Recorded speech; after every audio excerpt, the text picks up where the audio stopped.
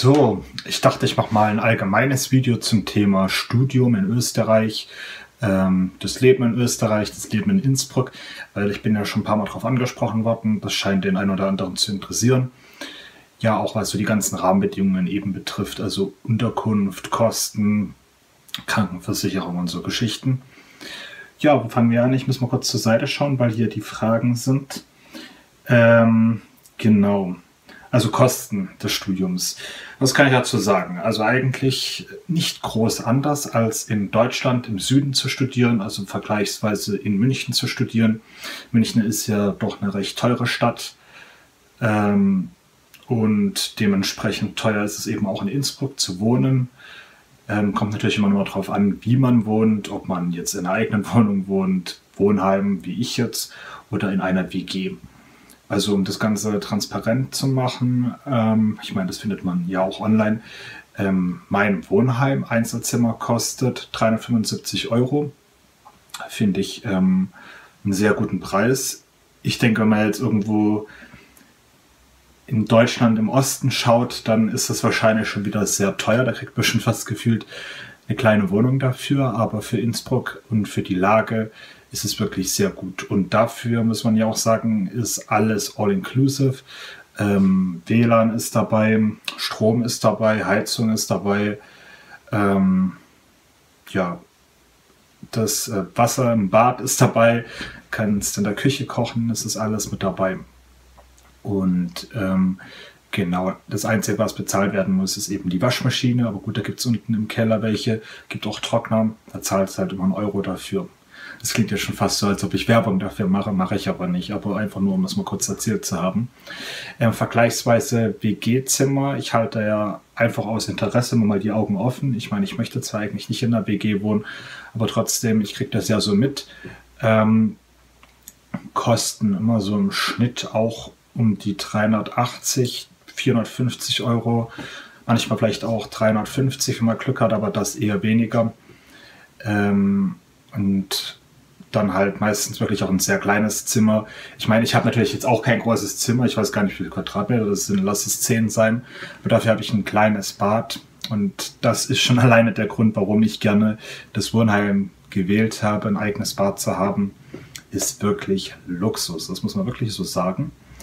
Ähm, ja, also ich meine, ich habe ja eigentlich seitdem ich 18 bin immer alleine gelebt. Also als ich damals ausgezogen bin, ähm, habe ich ja erstmal im FSJ, also im Altersheim beim FSJ gearbeitet. Da habe ich damals auch so eine Art Wohnheimzimmer gehabt, plus kein eigenes Bad. Und ähm, danach habe ich eigentlich immer eine eigene Wohnung gehabt. Und dementsprechend kann ich mir das gar nicht mehr vorstellen, das Bad mit Menschen zu teilen, die mehr oder weniger Zweck Mitbewohner sind. Ähm, jetzt vielleicht in einer Beziehung oder so ist es was anderes. Aber gut, ich will mich jetzt ja gar nicht zu weit in dem Thema verlieren. Ähm, weitere Kosten bei mir Krankenversicherung. Also ich kann mich eben nicht mehr äh, mitversichern, da ich ja jetzt schon 29 bin. Ich zahle im Moment knapp 100 Euro, ich glaube 96 Euro, also Kranken- und Pflegeversicherung.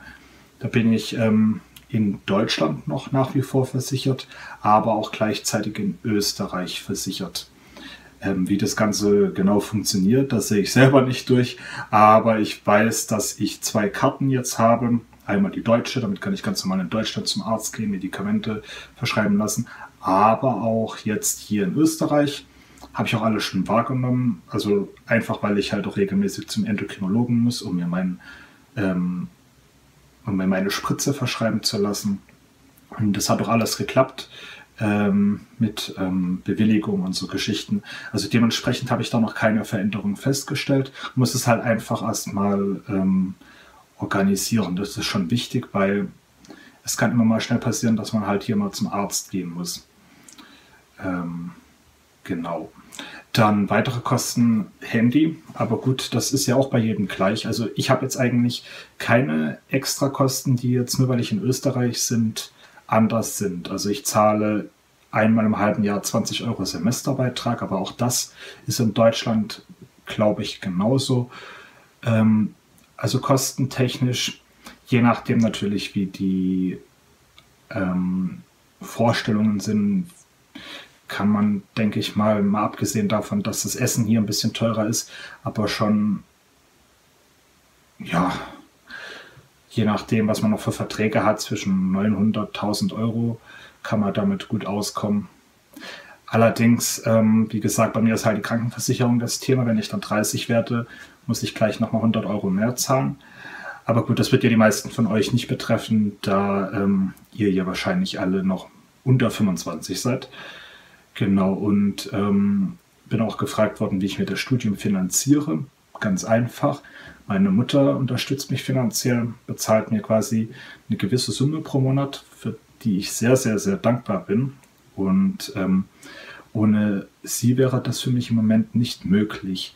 Ähm, einfach aus dem Grund, weil natürlich halte ich auch noch mal Ausschau nach Jobs, aber das sind dann halt eher mal so Jobs, die dann vielleicht 400, 500 Euro ähm, quasi ermöglichen, aber den vollen Umfang, es würde bestimmt irgendwie gehen. Klar, wenn ich jetzt dazu gezwungen wäre, weil es nicht anders ginge, dann würde ich da auch eine Lösung finden.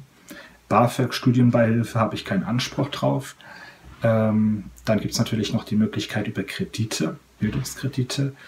Allerdings ist das, glaube ich, bei mir noch ein bisschen schwieriger, da ich ja Deutscher bin ähm, und aber in Österreich studiere und, glaube ich, in Deutschland mir deswegen bei den Anbietern keinen Studienkredit holen kann. Höchstwahrscheinlich müsste ich dann jetzt in Österreich ähm, bei einer Bank anfragen, die dann eben diese Bildungskredite verteilt, weil ganz normale Kredite kriegst du ja heutzutage, soweit ich informiert bin, nur wenn du wirklich einen festen Job hast, was ja auch irgendwie Sinn macht. Aber gut, mit dem Thema habe ich mich jetzt noch nicht zu sehr beschäftigt, einfach weil es gerade nicht relevant ist. Ja, also wie gesagt, ich bin halt einfach in der komfortablen Situation, dass ich eben die Hilfe bekomme.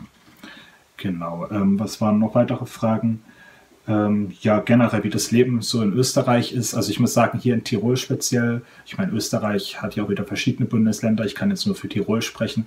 Ich fühle mich super wohl hier. Was ich hier wirklich schon von Anfang an festgestellt habe, du wirst hier immer geduzt. Ich dachte erst, das liegt an meinem jugendlichen Aussehen, weil ich das ähm, immer mal zu hören bekomme, dass ich eben nicht so alt aussehe, wie ich bin. Ähm, dass ich halt denke, dass die Leute mich deswegen duzen. Habe dann aber herausgefunden, dass es hier wohl gang und gäbe ist. Ähm, Finde ich sehr sympathisch. Ähm, ich habe dann auch schon jemanden gehabt, der gesagt hat, bitte, das war halt in einem ärztlichen Kontext, ähm, also nicht der Arzt, aber ein Arzthelfer, ähm, sag bitte nicht sie zu mir. Und dann habe ich natürlich wieder alte Gewohnheit sie gesagt und wurde ich natürlich wieder korrigiert und dann habe ich gesagt, okay, das ist wahrscheinlich so ein deutsches Thema. Und ich glaube, das ist es tatsächlich. Ähm, in der Hinsicht sind wir Deutschen da, glaube ich, ein bisschen steifer. Ich muss ganz ehrlich sagen, ich finde es sogar sehr gut, sich einfach auch mal zu duzen. Ähm, ich weiß jetzt nicht, wie es in bestimmten geschäftlichen Situationen ist. Da wird es wahrscheinlich dann ein bisschen anders ablaufen. Ähm, wobei ich sagen muss, mein Zahnarzt in Deutschland hat mich auch geduzt und mein Hausarzt damals auch. Ähm, Finde ich auch nicht schlimm. Aber gut, ich meine, das wird wahrscheinlich ähm, für jeden ein bisschen anders sein. Aber generell, was ich eigentlich sagen wollte, die Leute hier sind wirklich sehr freundlich. Also ich habe bisher also direkt noch keinen einzigen erlebt, der es mir direkt gezeigt hat, dass Deutsche unwillkommen sind. Jetzt gerade in Bezug auf diese Geschichte mit ähm, NC-Flüchtlinge. Also in dem Sinne bin ich ja einer, der quasi in Deutschland kein gutes Abi hatte und dementsprechend sich Alternativen gesucht hat. Ähm, ich habe das bisher, glaube einmal online ähm, in einem Kommentar gehabt, da wo ich woanders kommentiert hatte und mich quasi als Deutscher geoutet habe, der jetzt hier eben studiert. Und ähm, ja, da kam das halt so ein bisschen so rüber. Aber eher im Sinne von, dass Deutschland die Bildungspolitik mal ein bisschen auf die Reihe kriegen soll was ich ja auch in gewisser Weise unterschreibe, gerade was das Medizinstudium betrifft. Ähm, ja, aber wie gesagt, die Leute sind alle sehr freundlich. Ich meine, das Wichtigste ist eigentlich immer, dass man selbstfreundlich ist. Dann ist es in meinen Augen fast unabhängig vom Land, ähm, wie die Leute dir gegenüber ähm, reagieren oder wie sie auf dich reagieren. Ich meine, in Deutschland muss ich auch sagen, dass ich eigentlich sehr viele nette Menschen immer treffe.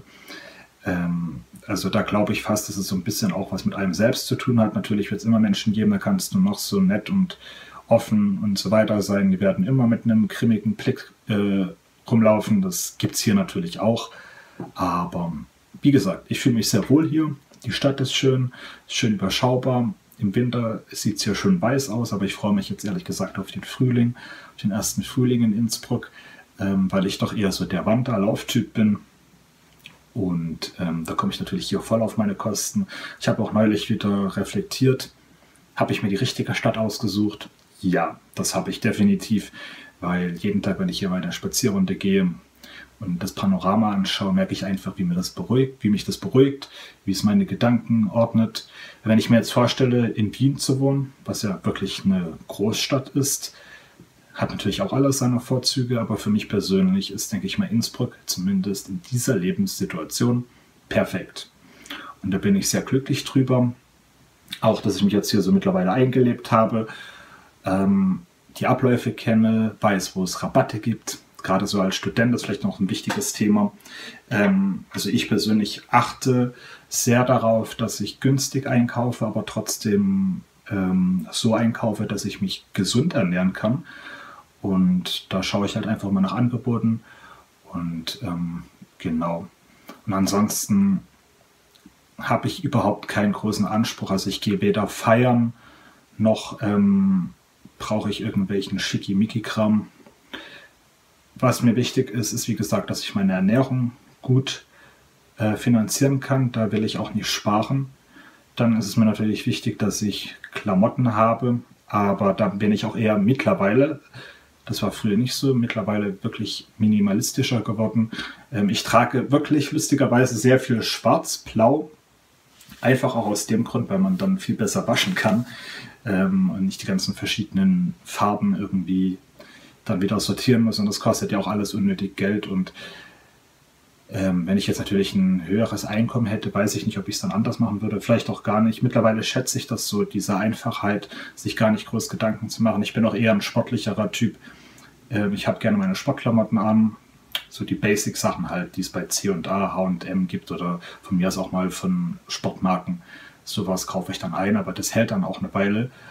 Und dementsprechend sind das halt immer mal Kosten, die auftreten. Aber ansonsten gucke ich halt einfach, dass ich sparsam lebe.